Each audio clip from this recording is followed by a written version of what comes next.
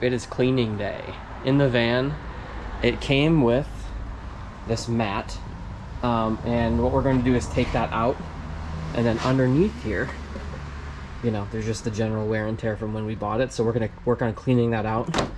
Um, look for things like rust, any other holes. I don't think we'll have anything like that. They didn't report anything like that when we bought it, but you never know. So we'll go through and we'll take the mat out. We'll clean underneath. Um, and then eventually we may have time to work our way up to the seats.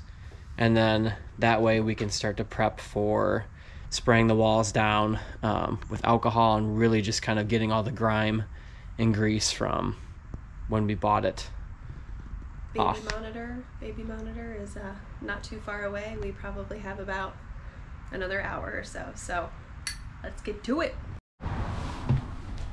All right, so first thing, get this stuff out of here. Got some old ratchet straps and things. Just helped Sarah's brother move. One of the other perks of the van. Um, and then now let's take this mat out. Here's what we're working with. So our goal is we want to just kind of clean all this out, sweep it toward the back, and then we've got a bowl of water um, with some cleaning agent. We can clean things down, but right now we just want to get all this dirt moved out and pick up any of these random things that we find underneath.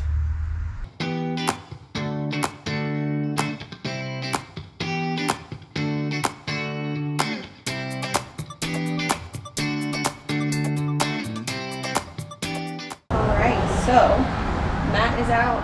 Everything is swept out. Well, the loose dirt as much as we could get of it. Um, so next up is just we have a big bowl of warm water and some cleaner, and we're gonna scrub as much as we can.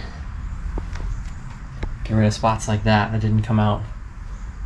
So far, didn't see any rust either, right? Nope, everything looks great underneath it. We weren't sure what to expect under the mat. I mean, we didn't think anything was going to be too major, but everything looks pretty pretty solid. Um, yeah. A side note on the mat itself, the the mat coming out so easily and being moved around so easily will definitely come in handy as we eventually get to measuring um, like any subfloor, any insulation that we need. We'll be able to use that um, and trace it and hopefully just pop things right in. So that mat will come in handy later. Just have to eventually kind of figure out a plan for these guys. Look at getting a special, I don't know, screwdriver or something. It's kind of like a star bit. Mm-hmm.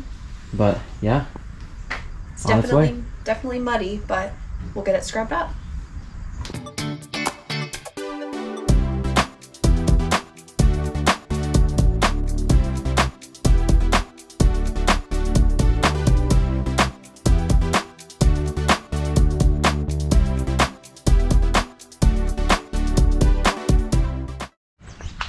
So already looking pretty good. Like I said, this is just a preliminary cleaning, but you can kind of see the contrast there. This is what we've hit with the cleaner and the warm water.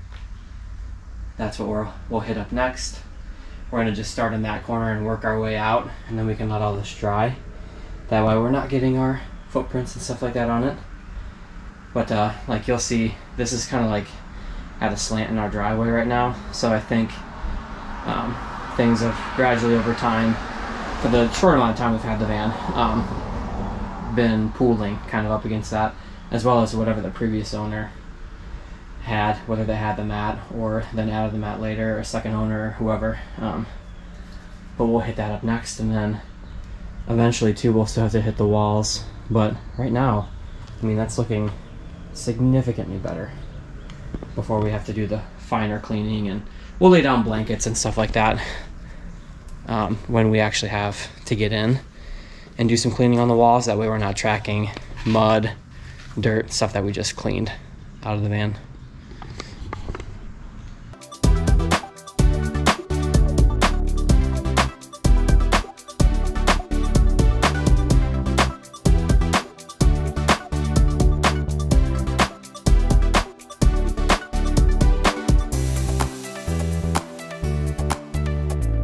All right, so night and day difference.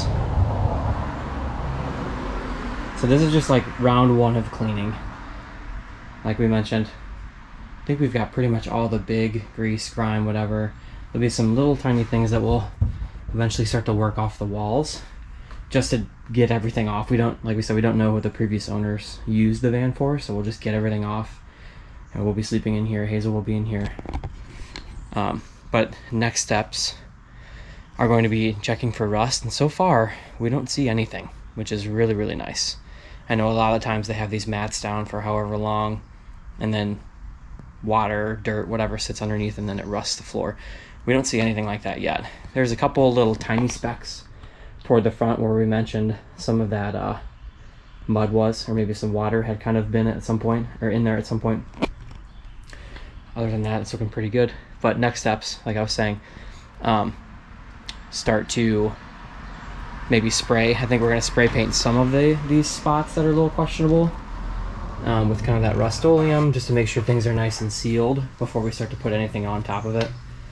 Um, and then we'll start to do some deadening, some sound deadening. So on these panels here on the walls, we'll start to have that start to put in. Um, mainly on like these big, broader spots. We'll run those across. Um, we'll just kind of run things wherever for now, but eventually when we cut in a ceiling fan, like we would, you know, if we're gonna get like a MaxxAir um, vent, we'll just cut through it. We'll cut around it, and then there's just more insulation there, and there's more sound deadening. Um, but yeah, then we'll kind of finish things off with more of the insulation on these panels. That will take a lot of cutting and measuring and sticking on. But yeah, now this is like the preliminary. Eventually, what we'll do is, like I said, use the alcohol and spray things down for a finer clean, and then we'll move on to that next bigger step. All right, so that is the end of like the second video. Like I said, just a lot of that cleaning. It looks 10 times better. Oh my gosh. Just soap and water so far too, so Yep. pretty nice. Yeah, so we'll just keep working away on that. And next steps are going to be that finer alcohol cleaning, which will kind of happen in between these videos. That'll be a lot more tedious and it'll be the same kind of thing you guys will see over and over again. And then sound deadening and And- insulation.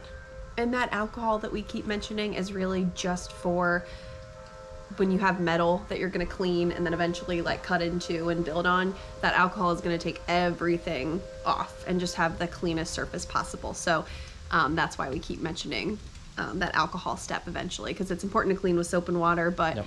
on metal, that alcohol is going to really give you the best bang for your buck. and we didn't want to go with anything heavy duty and we're going to try to you know make things as safe as possible with like i said we're going to be sleeping in here so we don't want to use a ton of like super heavy duty things with all those fumes and whatnot so keeping it pretty bare minimum but yeah it's already looking great